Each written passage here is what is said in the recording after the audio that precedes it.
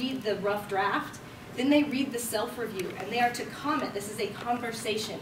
They are to comment to the self-review and not to the essay. And so here you can see in number three, like you stated earlier, this student is actually talking to the peer, to the self-review. And then the third peer reviewer talks to the, the self-review and the peer review. So it's extending this conversation about, okay, yes, I, I see where you're being personal, but I think you need to do this. I have a sample both rough draft and final draft in the handout that you've been given. Here I want to point out that this student took the comments and actually started to attribute to the author, which was one thing that was one of the issues that was raised in the peer review. And then here in this next, next example, the same, the same paragraph, this is paragraph five, the student was told that she was using too many long quotes. And so in her, in her uh, revision, she actually shortened the quotes and used more of her own words to explain her writing, which is a difficult step for students to make, especially first year.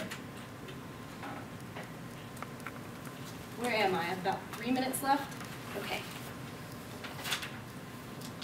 So I, I did ask students through an informal survey a couple of things. One of those things was how, what did they think about the peer review conversation? And two comments stood out to me. One was that students said they wish they could do multiple peer reviews. I actually have had a couple of students, after doing their self-review, stop peer reviewing and start revising. Because now that they've done this very in-depth self-review, they did not feel that they could, that their writing was, that they wanted to extend it out there to everybody else. And so I've started to work on doing a self-review, having a half an hour of revision, and then doing the peer reviews so that students can actually, so I've been, I'm, I am just, you know, working, reflecting and constantly changing this It- it- process. You've created the anxiety of an academic community of practice, huh? Yes, Don't want to show it to anybody else. exactly. Um, and then the self-review, one student said his self-review was so thorough that nobody else commented anything, commented further. So I wonder if I need a second set of questions for. So, accord, very similar to what was found in the other, in the research that I looked at. And by the way, the research that I've examined, the research that I've mostly found is working in, in um, second language classrooms. And so there's very little of these findings in, in composition classrooms. So I am seeing the same findings that we've already seen in the studies, but in a new context. And that is that the comments are mo more robust. Uh, there are global revisions, students remaining on task. I can easily monitor the peer review process. At, in the survey, students are starting to say, and in conversations with students, they feel like they are peer reviewers and that they are in this community, that they are more aware of who their audience is, and they feel like they're participating in this community of writers, and they're coming to class more prepared and more eager to participate. I've even had students, when they cannot participate, say, can you please ask somebody in class to, um, to peer review with me out of class, or they send, they'll email me their paper and say, I can't come to class, but I You're- want to You're participate. gathering data on all of this? Huh? You're gathering data on all this? Yes, I have a lot of data, and that's kind of my problem. So I have a lot of data.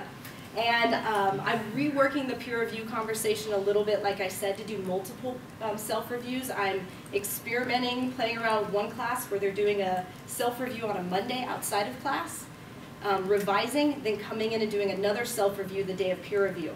And that I will be grading, giving them points. They get, they get points for peer review for just doing it. So they'll get points for doing that self-review and doing two self-reviews.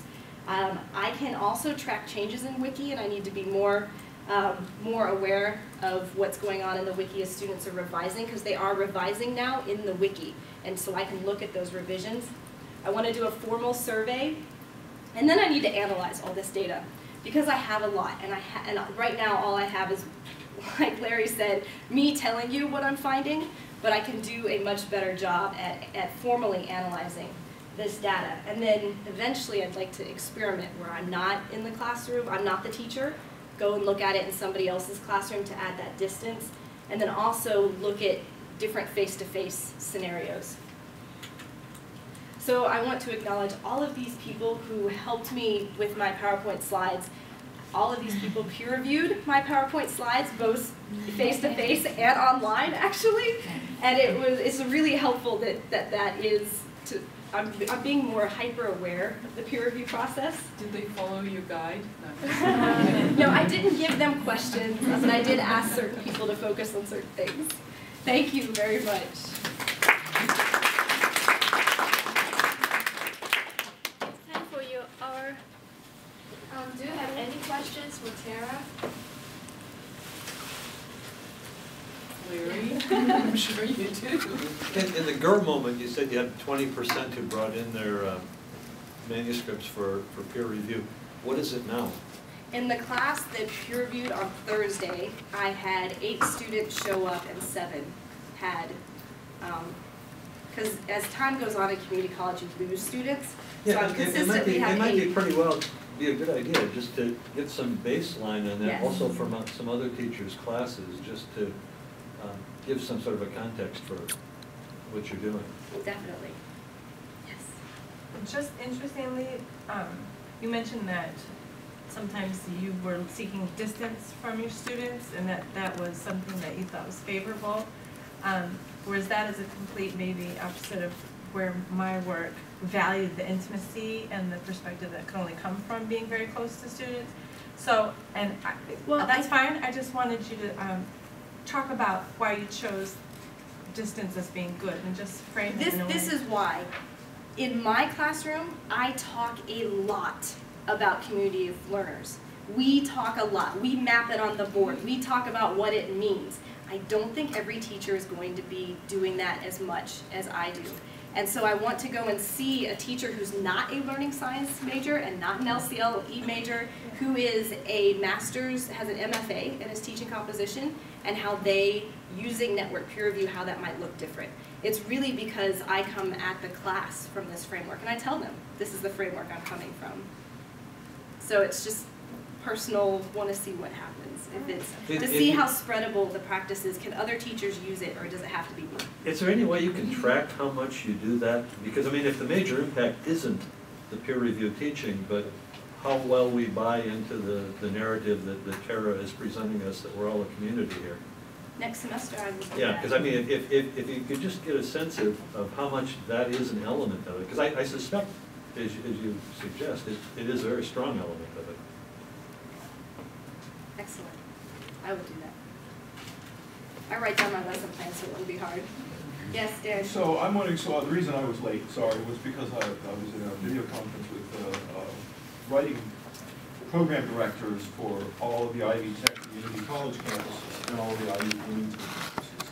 And there's a move underway, there's a lot of pressure to standardize, there's a huge issue with transferring credits and the comparability of the, your students do, like whether or not one eleven counts as W one thirty-one, it's all very complicated, it's all really new to me, and mostly what I was doing there was trying to insert Tara into this mix as a potential dissertation topic in early inquiry finding. So I wonder, how do you, what do you think you're gonna find? The little task that, that, that I think we have for you is to do initially a survey of how, because every single student in the state who graduates from Indiana University has to get credit for W one thirty-one.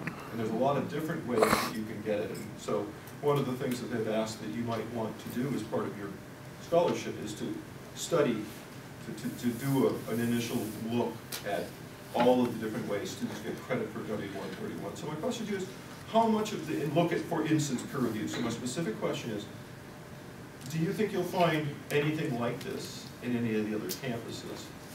And, and how, how's that gonna, how's that work in all of this? Like, do you think that the, the writing program directors will care about it? And I know that my writing program director at Bloomington is really excited about it.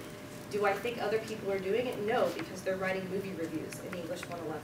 They're They're what? not writing the types of academic writing that I teach, because I know, coming from, also have taught at four-year college and coming from a rhet comp background. Um, I, just for those of you that don't know, Dan knows this, I'm the only rhet comp instructor at Ivy Tech Bloomington. The only person with a rhet comp background. A rent con? Red, oh, sorry. Um, rhetoric, I have a master's degree in rhetoric and composition, and the other instructors at either have a master's degree in literature or an MFA. I am the, um, which is Masters of Fine Arts. I am the only person coming at this through, coming at teaching this class through this lens on that campus, and that is really very similar across all of the campuses. And so it's really, it's, like I said, when I, when you asked, it's really hard for me to compare myself to what is happening in most classes, because I am a definitely a, a kind of an anomaly. I guess that's what I'm getting at, is, is how will that, will, do you think that that might constrain the generalizability of this practice? Do you think that other like, like, the- if somebody asked you to do this, somebody else came up with this, you, this, you took this pretty naturally, you quite remarkably seemed to figure out exactly what needed to happen here and did it. Uh, I think that there's a possibility that, it's a probability that won't be the case with other instructors I don't know, instructors are excited. I have, one of the MFA, one of the instructors of the MFA wants to do it, and I've even approached an intro to business instructor, just because I've talked to him all the time, and he wants to do it. So I think that, that teachers want a way to bring 2.0 into the classroom, and that this is a kind of a natural way mm-hmm. for them to, to do that. And, and they like what I say about it, and what, it- how it changes writing, so I think they might. Any other questions? Thank you very, very much.